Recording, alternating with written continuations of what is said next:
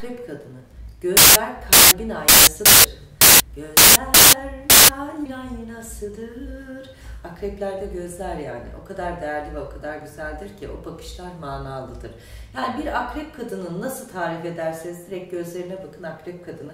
Onların ışıl ışıl parlayan bir göz yapısı vardır. Yani gözleri e, iri gibi de diyebilirim, çekik gibi de diyebilirim. Göz ama içindeki haznenin bakışı insanı kendisine. Çünkü onlarda farklı bir şeytan tüyü vardır ve kendilerine çekerler. Her noktada kendilerini gösterirler. Evet seksapateli çünkü topuklu ince topuklu ayakkabı giymeyi çok severler. Zarif ve gösterişli ve kendilerini çok ama mesela çok spor giyen ve evde çok large bir akreptir. Dışarıda gösterir gösterir evde tembelliğin önünde. Yani koltukta yatsın uyusun böyle bir akrep.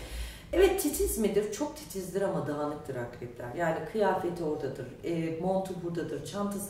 Ama kesinlikle evinde toz bulamazsınız. Evi hijyeniktir. Ama dağınıktır akrep kadını. Bu konuda akrep hani ben evimde çok disiplinliyim diyen akrep kadınlarına diyebilirsiniz. Çünkü gerçekten dışarıda duruşu muhteşem.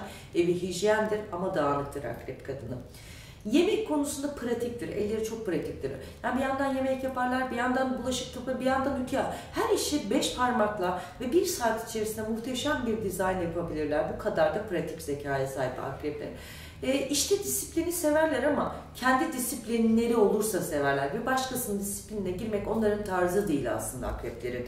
Yani gözüm üzerinde diyor çünkü Gizem ikide bir. Akrepleri rahat bırakın yaratıcılığını da çabuk çıkartın. Ama akrepi çok sık boğaz ederseniz akrep çünkü sevgiye doyduğu vakit ve sevgiyi üstünde bulduğu vakit kaçan tavrı vardır.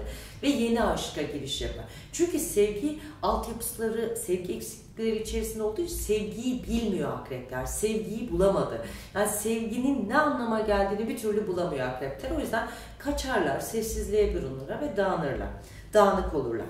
Akrepler iş konusunda gerçekten istesinler dağ bile derlerler. Ferhat ile Şirin, Şirin olacak kadar güçlü bir e, dağ resmen delip su çıkartırlar.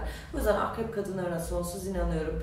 E, ve onlardan çok iyi bir siyasetçi, gerçekten iyi siyaset. Çünkü tatlı yalanı çok iyi beceriyorlar. Pratik ve hızlı konuşma zekaları çok.